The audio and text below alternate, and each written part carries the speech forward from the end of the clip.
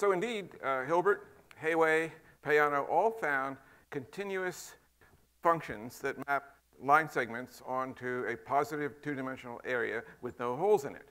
And it's also true that by adding elbows to, uh, to certain uh, polygons, you can, for instance, approach a circle. So let's just trivially demonstrate that. Uh, unfortunately, um, there, it, it, is not the case that if you add elbows to a so-called space-filling curve, uh, that it go to a, a, useful limit. And we'll see that here. Uh, this is the so-called Peano curve, quote unquote. This is the popular picture of it. It does not converge. Okay, and I'll show you, I'll, I'll show you why in a little while here. Uh, so it turns out it's okay because we can take, we can bend a straight line into, say, a circle by a continuum of hinges. Okay, so if we just uh, uh, do this, uh, the obvious thing. So now, that is how you fill space, namely with a continuum of hinges uh, like this. Oh, sorry, wrong, uh, wrong number here. Uh, come on. Whoa, okay, so can everybody, everybody see this? Okay,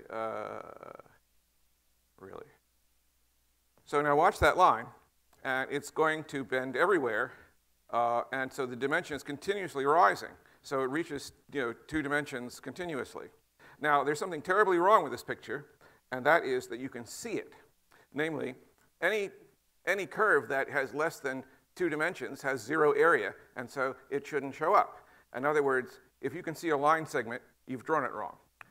So, uh, so what we'll do here is uh, where is my, uh, where's my notebook? Can we just do, this is actually quite strange. Uh, okay, there it is. Where in the heck? I'm sorry, but, but my, uh, uh, this is really, what is going on? This, this, this booth is cursed or something. Um, I absolutely have no idea what is going on here. Um, Go. Go, go, go, go. Uh,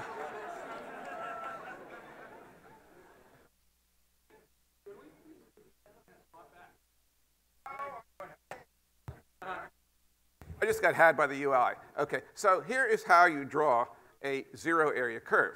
Namely, you, uh, you draw it as the boundary of uh, uh, oh, I, you see how that switched like that? That's what's willing. Okay, so this is, this is two dragons, uh, basically nose to tail. Now, what you should have seen in that other video was blank screen and sudden appearance of black dragon and then blank screen, but that would have been very unsatisfying. On the other hand, you can see it this way, and boy, I have to do this complicated switch right here. Uh, and I have to go up here to the window, and I have to say this every time I want to do this. Oh, this is a pain in the tush. Okay, so now the question is, what was that? Okay, and, and the answer is, well, that was supposed to be what happened at the magic moment of two-dimensionality. And of course, what should have happened is both the blue interior and the white exterior should have been replaced by whatever color boundary. And uh, that requires, however, a continuum of pixels, so I just cheated and I just did this, this funny looking polygonal thing. But just to show you that I can evaluate this function anywhere. Okay, I took 2,049 samples of this dragon, which is normally 2,048, so you get this crazy beat frequency. Okay, so now the question is, what will it look like? What should this thing look like? Should it be a blue haze when we reach 2D? And the answer is no, it should look like red polka dots. And that sounds ridiculous, but what that says is the boundary could have been anything, and until now we couldn't see it. So it might have been, you know, red and white, red and white points, which when you scrunch them to 2D, suddenly you've got uh, red polka dots. Now, I want to really belabor this by taking the Sierpinski curve that goes, uh, takes a straight line and runs it all the way up to a square, and it goes through what I would call a melted snowflake curve, which is like on a diagonal of a triangle. And before that, it even does this interesting uh, Cantor set of, of uh, regular uh, octal flakes. And, uh, and now watch very closely as I run two of these things side by side one sampled an octave more frequently than the other. And this, is, this will show you why th these things don't go to limits. Uh, watch closely those two things. Watch what they do. Uh, right? One, one goes white and one goes solid. Okay, so the question is, uh, I have to go through this pain in the tush here every time. Um, I have to say window G13. Anyway, um, watch uh, what happens, what should really happen there. Okay, one went solid, one went white. They're both wrong. Okay, so what should we actually see? Uh, and that is, well, we'll watch this thing here. Okay, so it should go like this, but then we get the sudden appearance of the black dragon, namely that. Okay, now you say, wait a minute, I, you just splice that in there, right? And no, watch, watch how that thing got there. Okay, uh, and the, uh, uh, here we go again, uh, window, this is such a pain in the tush. Okay, here's what I'm going to do. I'm going to I'm going to take a finite number of these invisible zero-dimensional boundary points, and I'm going to turn them into gigantic two-dimensional black and white pixels. Okay, so that should look like this. Okay, and see the black and white pixels? Now watch, watch carefully.